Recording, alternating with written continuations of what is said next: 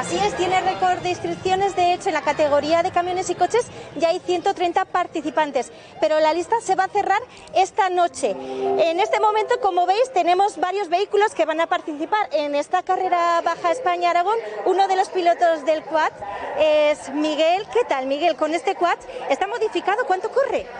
Pues esto es un quad de carreras que está modificado tanto de suspensiones como en anchuras y en algunas cosas más, frenos y todo esto, y es un vehículo que alcanza pues en torno a los 140 kilómetros por hora. Porque un quad normal suele correr bastante menos. Sí, un quad normal corre menos y naturalmente suspensiones y todo lo demás es mucho peor. ¿Y cuál es la dificultad para correr por la arena? Pues un vehículo de esta clase es mucho más complicado de llevar y más exigente físicamente que lo que podría ser una moto y lo que intentas es contrapesar los pesos al tomar las curvas para no volcar con él.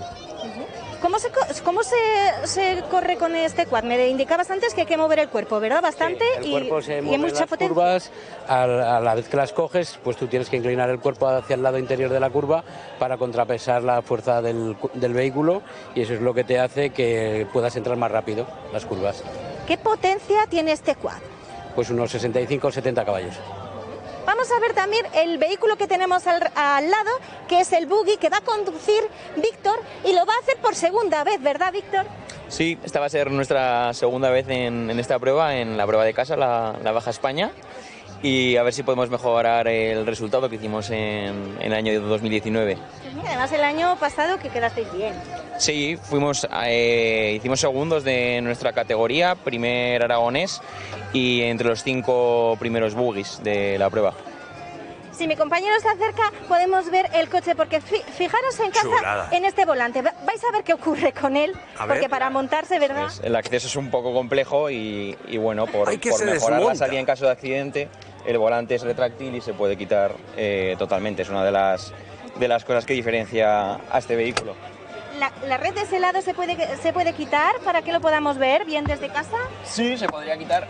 A ver si Pues está todo preparado, ¿eh? está todo Obvio. pero bueno, desde aquí no lo Es- podría quitar, pero sí, sí. se podría levantar. Luego, que es en casa, para que lo sepan, tiene también un botón, porque claro, se, puede haber un accidente, ¿no? Y hay un botón, que, que- ¿qué haría Sí, en botón? Es un de- botón En rojo. caso de vuelco detectáramos eh, algún tipo de humo, es directamente un botón que lo que hace es encender la, la extinción de todo el vehículo, tanto del motor como del habitáculo, para que nosotros, en caso de que hubiera fuego o similar, poder salir eh, rápidamente sin tener ningún inconveniente.